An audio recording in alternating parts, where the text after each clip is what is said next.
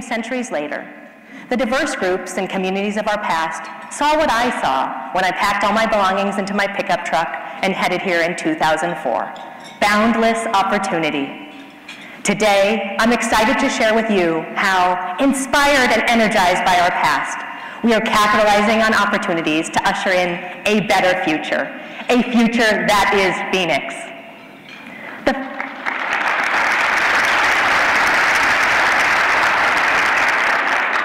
The facts speak for themselves. Best-in-class companies and educational institutions are making landmark investments in Phoenix. We continue to strategically invest in our transportation systems to serve Phoenicians in key areas of the city. We're innovating to tackle existential challenges such as drought and extreme heat and acting as a model for other cities around the world. And we're governing our great city equitably, always thinking about ways to improve and better serve this community. None of this could be possible without the Phoenix City Council, who has accomplished so much. And our elected officials could not deliver without our city manager, Jeff Barton, and his strong team. We have amazing employees at the city.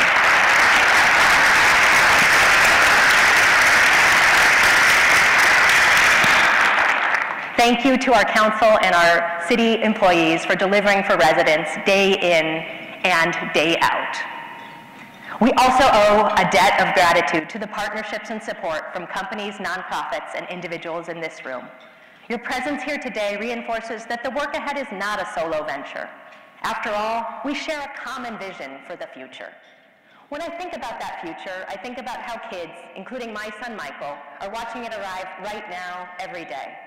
I think about how, to our kids, where we are now is only the beginning, the cranes and the skyline and the construction teams at the airport, to today's kids, that's the starting point. That's where our work comes at a critical inflection point for the city. I want Michael to be able to stay here for a lifetime if he wants to, to have a chance at a great education. I want Michael to be able to raise a family here, should he choose, and to enjoy South Mountain in the springtime, just as he did when he was an infant.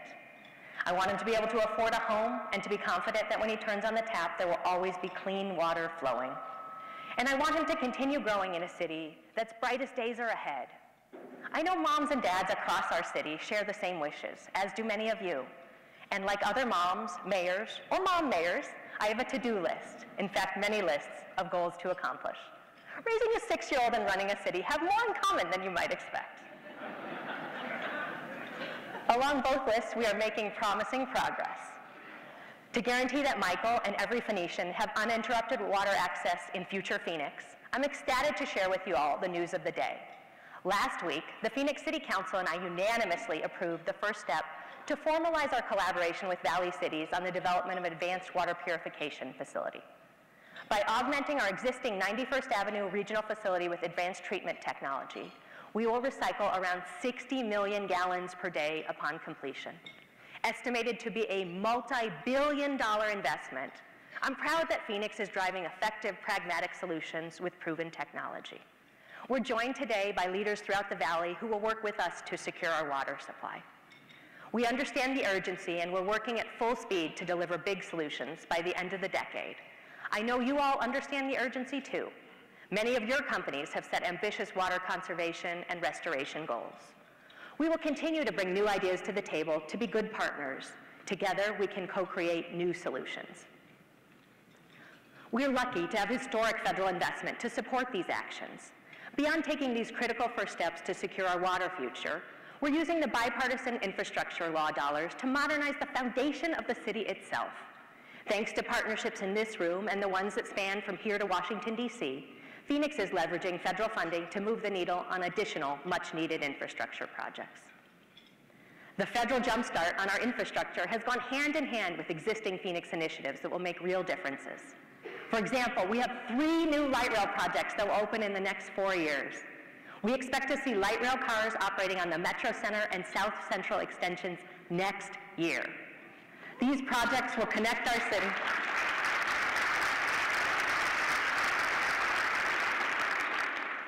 These projects will connect our city and unlock opportunities.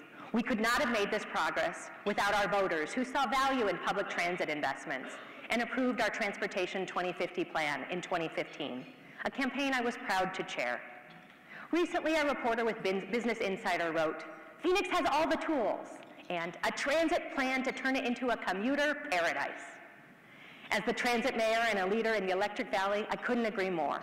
In that vein, today I'm renewing our call on legislators to do the same, to recognize the value in transportation investments, and to carve a path forward for Proposition 400. The count-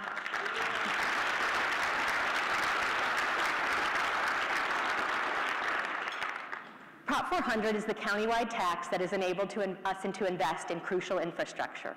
I speak for leaders across the county, the leaders of local governments and tribes who unanimously agreed to the regional transportation plan when I say that failure on Prop 400 is not an option. An extension of the half cent tax is necessary, and county residents overwhelmingly agree. Let's get it on the ballot and get it done.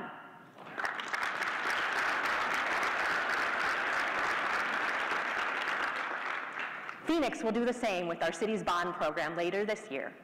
Last December, the City Council and I approved half a billion dollars to fund improvements to parks, roads, fire stations, art facilities, and more across the city.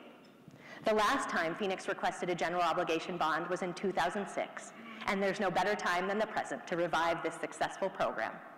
In the past, Phoenicians have approved bond investments because they can see the impacts with their own eyes.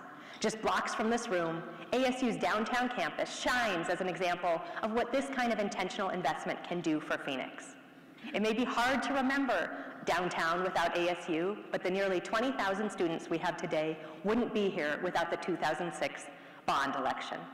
Thanks to the vision of former Mayor Phil Gordon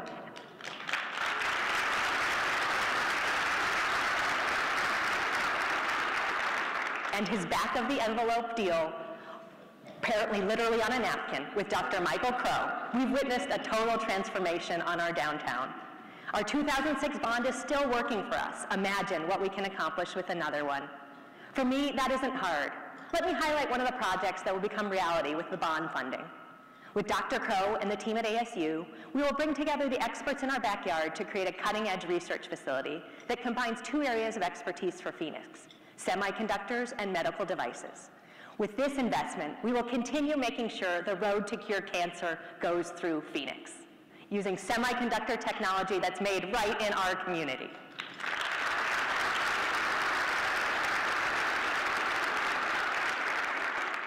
From building a library in the Desert Ridge area to improving South Mountain Park, the bond will invest throughout our city, and the potential is enormous.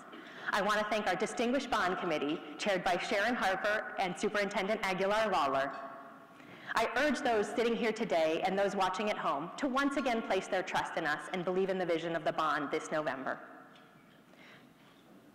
To attract outside investment and sustain it locally, we must continue our mission to strengthen the very fabric of our city. Yes, that means fixing roads and building accessible transit, but even more, it means incorporating the technology of our future into everyday living. For me, there was perhaps no better showcase of our success than what we presented on the global stage during Super Bowl 57. In Phoenix alone, we welcomed over 6,000 credentialed media and 300,000 fans. We hosted the largest ever free NFL sanctioned watch party in Super Bowl history with an estimated 24,000 attendees. And not only was the party big, it was zero waste. The City of Phoenix Public Works Department collected more than 101 tons of material from Super Bowl events. Because of their hard work, we scored a 92.6% waste diversion, surpassing the EPA's required threshold to be considered zero waste. And that's because the future is unfolding in Phoenix. We're home to just one of four robot depackagers in the country. Depackagers can process 15 tons per hour, removing organic material from packaging to be composted. Our city's commitment to becoming the most sustainable desert city will be met in part through the innovative technologies such as this one. Super Bowl also enabled us to flex the creative and hardworking minds behind Sky Harbor Airport, who left no stone unturned to deliver a great experience. From our gorgeous new concourse at Terminal 4 to the completion of the SkyTrain, the airport business partners have been delivering impressive upgrades. As our world gets smaller and more connected through commercial flight, airports offer the first impression we get of a place. And not only is Sky Harbor America's friendliest airport, it may as well be dubbed the world's most innovative. Sky Harbor was the first airport where passengers can show their identification at security using Apple Watch or iPhone. That helped Sky Harbor clock security wait times of less than 22 minutes the day after the big game, the busiest travel day on record. Five short months ago, we also became the first airport in the world to offer autonomous vehicle service as Waymo glided up to our SkyTrain station.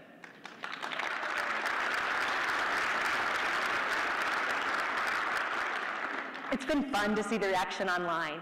A visiting stand-up comedian who drove in a Waymo announced to his followers that the future had arrived in Phoenix and compared us to a Jetsons episode. From the airport to our sustainability programs, exciting things are happening here.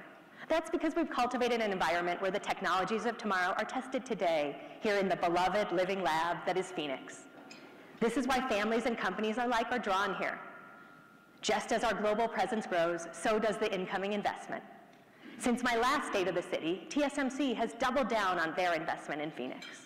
When they announced in the summer of 2020 that they would invest 12 billion in Phoenix, it marked the largest economic development deal in Phoenix history. In December, they topped that, announcing a total of $40 billion in investment. President Biden, the Secretary of Commerce, and even Apple CEO Tim Cook joined us to celebrate this announcement putting Phoenix in the international headlines once again as the up-and-coming semiconductor capital of the world.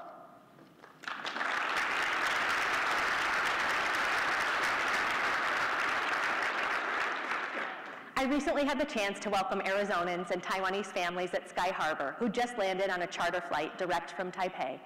Tired, carrying boxes and luggage, they did what I'm sure many folks would do after getting off a trans-Pacific flight, Stop to chat with the mayor, their CEO, and hundreds of new coworkers.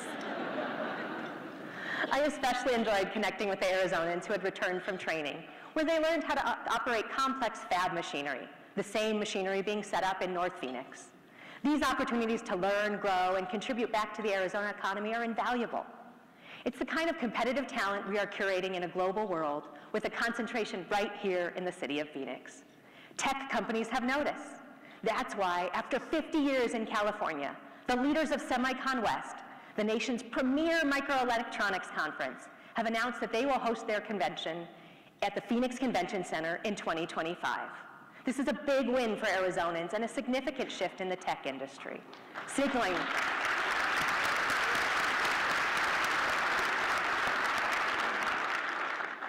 Our efforts to make the Valley a microchip manufacturing hub are working with the draw of TSMC, Intel, and 75 other Valley, Valley semiconductor companies, Semicon's arrival to Phoenix means even more high-paying job opportunities and new investments in technology, education, and public safety. Safe to say, the future is Phoenix. To protect that future and holistically shape it, we must keep doubling down and delivering on our values. To me, that means ensuring Phoenicians can get a great education that doesn't cost them a fortune whether it's a four-year degree at a state university or pursuing a Quick Start program at one of our community colleges. At the city, we know that ensuring a solid career path doesn't have a one-size-fits-all approach. Last summer, the city launched the Route to Relief program in partnership with Maricopa Community Colleges. Using American Rescue Plan dollars, our program is providing free tuition across the 10 community colleges. Not only that, but we also made sure to dedicate dollars to help single parents overcome values, barriers to education and employment including childcare and transportation. Riley is an expecting mom who was born and raised in Phoenix. She was working part-time and serving in the Air Force Reserves when she heard about Route to Relief. After researching TSMC and the industry, Riley enrolled in the Semiconductor Quick Start Boot Camp at Estrella Mountain. When she finished her coursework, Riley landed a job as a manufacturing technician at TSMC. Not only did she tell me that it is the best paying job she has ever had, but that she is excited to build her career there. Congratulations, Riley.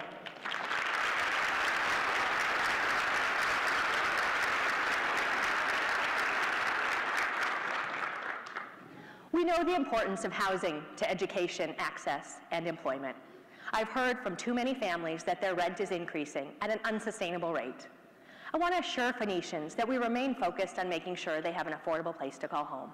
In 2019, we adopted the Housing Phoenix Plan with the goal of building or preserving 50,000 units by 2030, the most ambitious housing goal ever set by our city. I'm pleased to say we're well on our way to achieving it. To date, we have built or preserved more than 26,000 units. We also launched a community land trust pilot program in partnership with the nonprofit Newtown. In other cities, these programs have gained traction as models to address long-term affordability challenges and combat critical systemic inequities.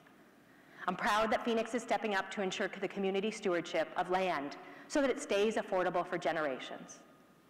As we rise to the challenge of building more long-lasting affordable housing with the Community Land Trust Program, let us continue working together, public, private, and nonprofit sectors, to see this program through to success.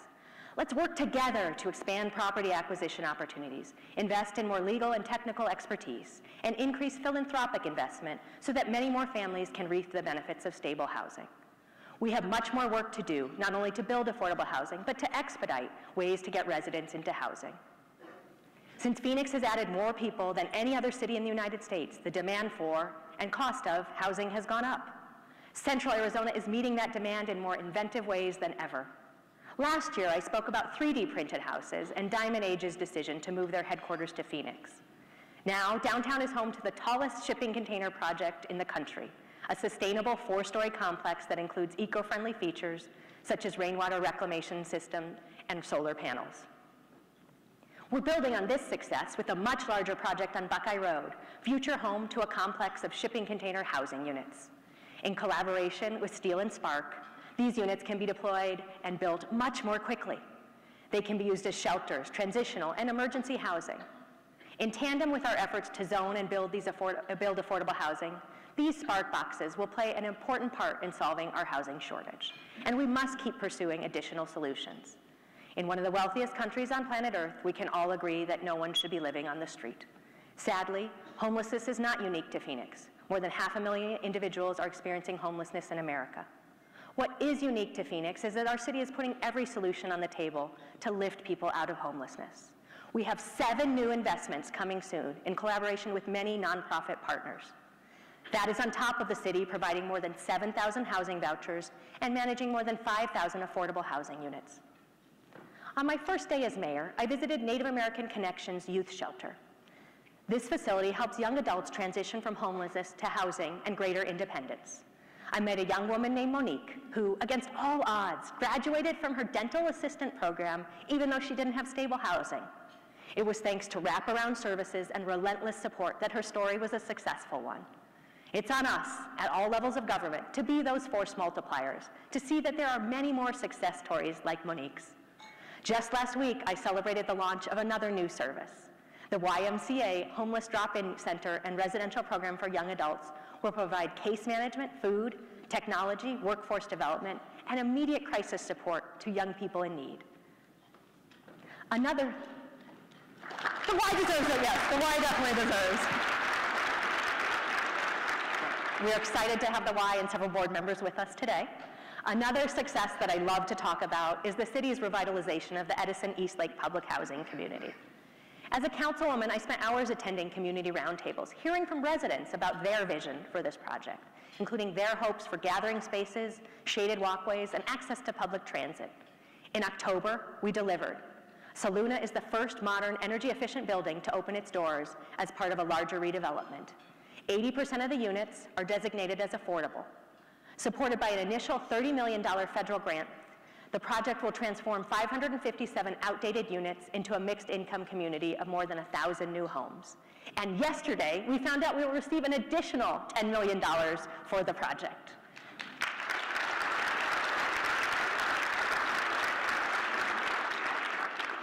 This will be the largest public housing site in the entire state, and I'm proud that it's here in Phoenix. As the city continues to confront this challenge head on, I'm renewing my call to our partners from other municipalities across the valley, to state and county agencies. The only way we can solve a problem that affects us all is by working together. Often, especially for our unsheltered population, the first people on the scene during what might be someone's worst day is a uniformed Phoenix police officer. For too long, we've asked our officers to be more than those who enforce our laws. We've unfairly tasked them to serve as doctors, mental health professionals, and addiction specialists. And while we're constantly working to improve our police department, in the last few years, we've targeted our efforts to expand services to better serve both our community and our officers.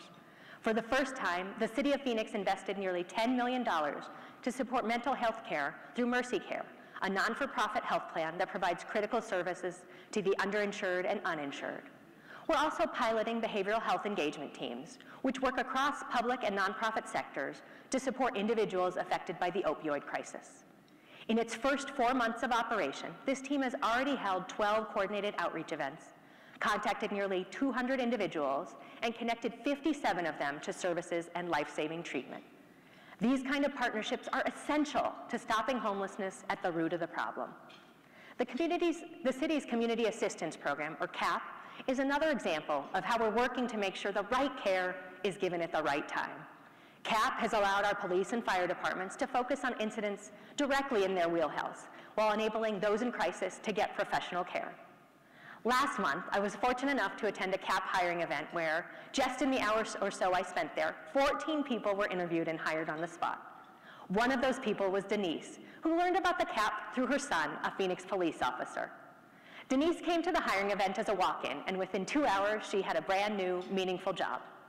But the best part of it was she told me was the possibility of meeting her son on the scene to help a Phoenician in need. Denise is with us here today. Thank you and your son for your service to our community.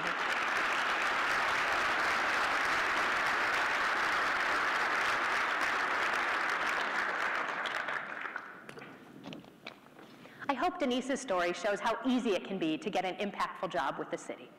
I'm also proud to say we are now the highest paying law enforcement agency in the state.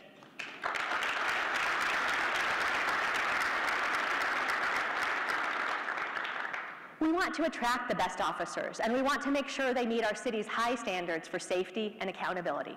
Officer Jacob Tinto, who recently retired from the Phoenix Police Department, stands as a prime example of what can happen when we invest in law enforcement. Officer Tinto was working near the Human Services campus and received several calls to transport a woman who needed to get care. Over time, Jacob got to know the woman. He helped her obtain critical services and ultimately helped her out of homelessness. His work left such a deep impact on her that when she gave birth to a baby, she named him after Jacob.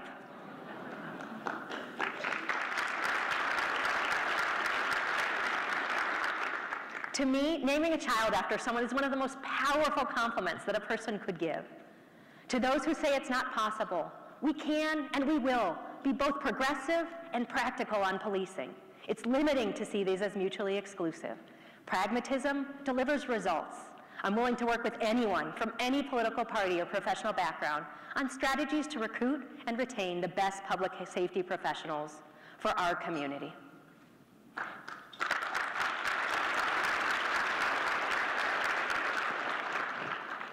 As we work to protect the safety of our residents, it's important that we stay focused on existential dangers such as our changing climate. As the world warms, Phoenix is bearing the brunt of extreme heat. The Southwest has long led on the use of heat-resilient architecture, and examples of creative buildings can be seen throughout the city. We're working to make our streets and neighborhoods more comfortable too. Soon, we'll celebrate 100 miles of cool pavement that reduces surface temperatures and makes for cooler nights. We're weaving together a network of cool, safe walking paths throughout the city, especially in historically underinvested areas. Phoenix is partnering with American Forests to plant trees in areas of high pedestrian and transit use. These cool corridors will ultimately include manufactured shade and public drinking water access. To accelerate these solutions, private sector partners have stepped in and stepped up. Companies such as Aspiration, Salesforce, American Express, and iHeartMedia have contributed resources to cool our city. These strategies have gone a long way to reduce urban temperatures, but we also need to meet the moment to support our most vulnerable. We need national action. Heat causes more deaths each year than most other natural hazards combined. But right now, the categories of national emergency declarations that unlock additional resources do not include extreme heat. This should change. That's why I'm calling on FEMA to revise their declared disasters list to, exclude, to include extreme heat. Resources from pop-up shelters to additional outreach to our vulnerable residents could help us successfully navigate unforgiving summers. In Phoenix, we've also learned to convert our intense sunlight into opportunity. Phoenix has more solar per capita than any other big city, earning us a spot among Environment America's solar superstars. I don't plan on that changing anytime soon.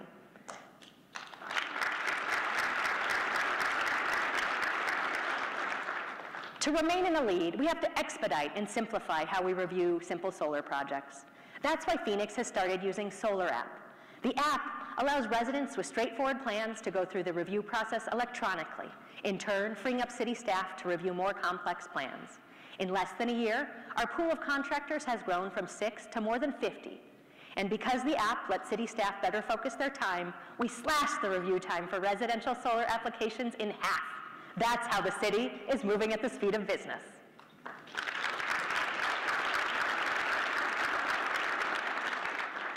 Expanding renewable energy is also key to improving our air quality, which is important to me as someone who grew up with asthma.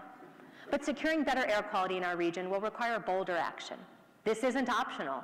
Last year, the EPA downgraded the valley's ozone pollution level from marginal to moderate, and we're at risk of being further downgraded. If we don't act now to meet the federal standards, we will pay the price with heftier costs to economic development and poor health outcomes for our residents. In the simplest sense, something we can do is bring life closer together, building up and not out, rethinking the conventional modes of construction and the kinds of material we're using, connecting different aspects of our economy in shared spaces so that Phoenicians can easily access the work, grocery store, where their electric car is charging, Central Station, or what is now the large hole in the ground at Central and Van Buren, comes to mind as a perfect example. The redeveloped transit station will maximize the site's potential by transforming it into a multi-level mixed-use development with two residential towers, retail space, and seamless connection to bus and light rail services.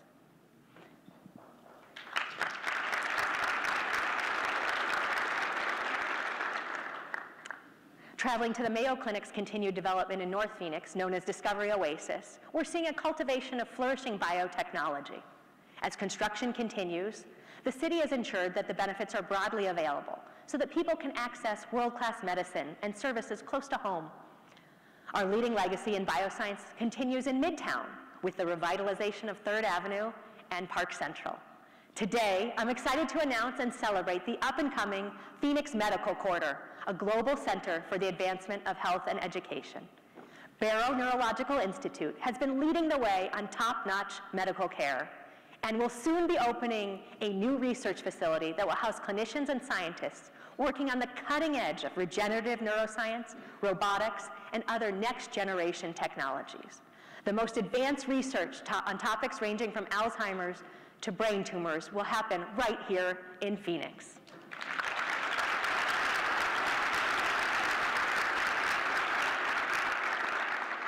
This is personally meaningful to me. My grandmother was diagnosed with dementia, and recently a very close friend was diagnosed with a brain tumor. I have hope because of the incredible individuals who have made it their mission to save lives. We are joined today by many leaders delivering on this vision. Barrow's Dr. Michael Lawton and Dr. Brad Brissett, and Creighton University's President Hendrickson.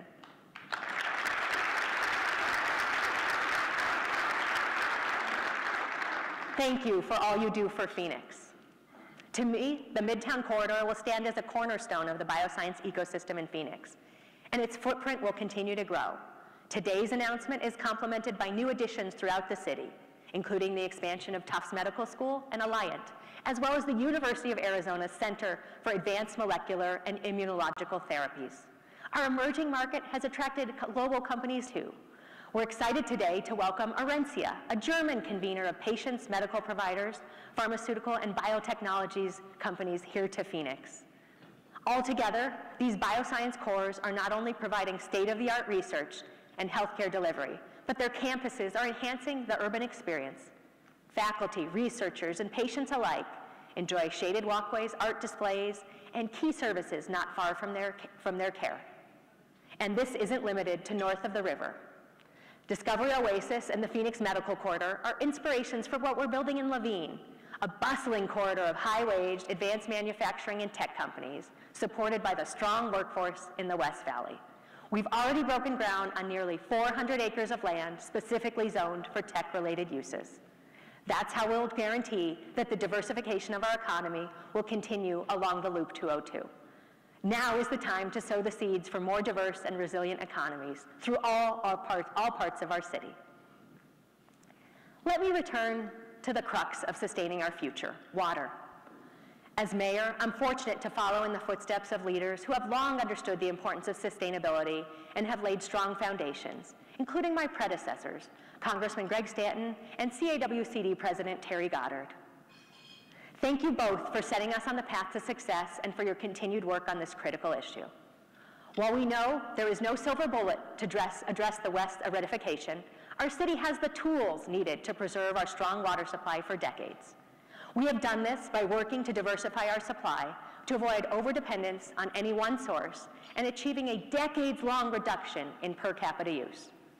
We've long been a net positive contributor to groundwater, using only two-thirds of our allocation from the Colorado River and diverting the other third to groundwater recharge. Looming cuts to our Colorado River supplies will squeeze us. While we will need to tap into this bank, we're planning now to make sure this is only a temporary stopgap. But new challenges require innovation to guarantee our continued economic prosperity, environmental security, and quality of life. And like I said at the beginning, to move forward, we must reflect on our roots. Water management has been a top priority throughout our existence, beginning with the Hohokam who dug our canals. Today, Phoenix continues its strong collaboration with tribal communities to protect our water resources and create flexibility in times of shortage. As a fast-growing city, we must think more critically about adaptation. The City Council and I are hard at work to create new sustainable development standards for large users and require new residential projects to achieve EPA WaterSense or equivalent certification. The Verdin residential development in North Phoenix stands out as an example of a project that has helped us set an impressive standard. Achieving the EPA's water efficiency certification, Verdin has shown us how to build better in the Sonoran Desert. Each home will save more than 44,000 gallons per year compared to a traditional new build. That means, collectively, the homes in Verdin will use 55 million fewer gallons of water every single year compared to a standard subdivision. Even more significantly, their preservation of natural desert landscaping will save nearly 80 million gallons of water per year. Phoenicians are not looking just for ourselves. We understand our role in preserving water security of the entire region. That's why, on top of the multi-billion dollar investment in our advanced water purification facility, we continue leveraging our relationships with the private sector, whether it's installing water leak sensors in apartments or retrofitting industrial cooling towers. Our city is and will remain on the cutting edge of futuristic solutions for our most sophisticated challenges. Last month, a young Phoenician said to me, I don't understand the people who complain about being born in the wrong time. I took a driverless car twice in the same day and it was awesome. This is the best time. Well, Phoenix, now is our time. The future is Phoenix, and the future is everywhere we look in a TSMC manufacturing facility, in our affordable housing communities, on rooftops covered in solar panels, in community college classrooms, in the shade of a newly planted tree. Regardless of what the future may hold, Phoenix is the city to watch, and we are ready to deliver. Thank you.